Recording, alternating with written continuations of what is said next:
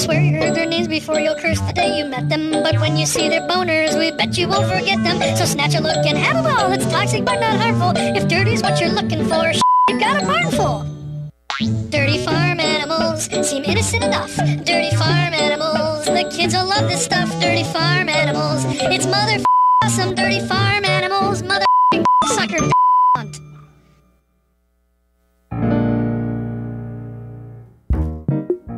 The mold count was high one day Pork awoke.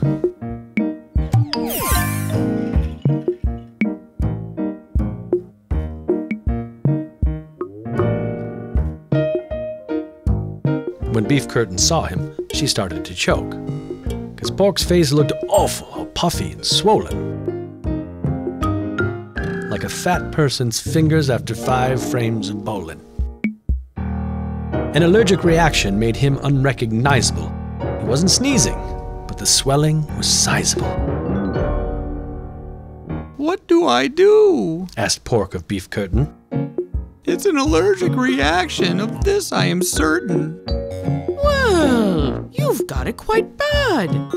said the cow chewing cud.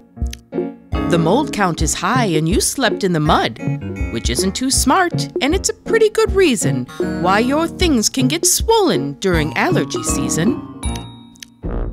Is there a prescription? asked the poor pig. My sinus is clogged, and my face feels so big. Well, this may sound crazy, The helpful heifer said. but Cock's got a treatment for swollen pink head. Pork was so anxious he needed a doc, so he frantically searched for the smooth talking cock. Who was down by the meadow, high on a fence, entertaining the chicks with his tail so intense. Cock had those hens eating out of his claw. They were pie eyed and swooning in a trance and in awe. And of course, you know me. I'm a lover, not a fighter. I, Uh, excuse me? Then Pork interrupted Cock's spewing sermon. Cock shot him a look, as if Pork were mere vermin. But one look at his eyes made Cock empathetic. He cut his speech short. Jeez, you need a medic. Cock lit into Pork. Man, what is your issue? When I get that swollen, it ends with a tissue. But your case is so bad your eyelids are sagging. What you could use is my special teabagging. Then Cock guided Pork back toward the barn. It was time for a teabagging down on the farm. All of the animals had gathered around. Then Cock coerced Pork to lie down on the ground. Then from under Cock's wing,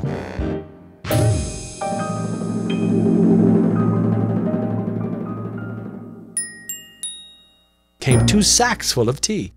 They were herbal and minty and as moist as can be. Cock took the tea bags and squeezed out some water, then stood over Pork in the stance of a squatter. Then he dabbed the two bags over Pork's swollen eyes. Pork felt relief. You could tell by his size, Good heavens! cried Pork. Your treatment's relieving. I can totally tell that the swelling is leaving. Cock let his tea bags rest on his friend's head, and Pork felt no shame. He was happy instead. The healing was happening, and Pork never got testy. When some tea dropped in his mouth, it tasted quite zesty. After the treatment, Cock discarded the satchels.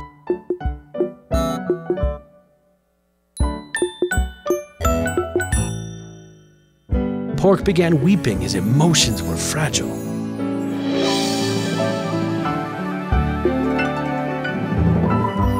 I'm eternally grateful for your teabagging, sir, that I want to sing about this miracle cure.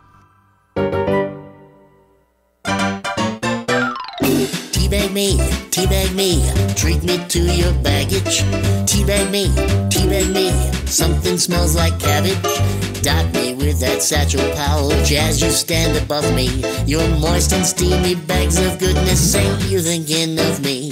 Teabag me, teabag me, your sack is my redeemer. Teabag me, teabag me. I hope this one's a steamer. Your swollen sack of mellow juice, so warm and so divine. I'd love to feel humidity from all the tea in China. All the tea in China. Teabag me, teabag me. I like where this is going. Teabag me, teabag me. Although no tea is flowing, I need to feel your sack appeal that curse of early grey. The sogginess is more or less a satchel of sheer happiness. So slap me with that bag today. Cox stood all cocksure and puffed out his chest. He felt like a prophet who'd been put to a test. Cox's tea bags were magic, as a matter of fact, like unicorn horn or beans in a sack. And there is one moral as the story ends we can all be heroic. Simply teabag your friends.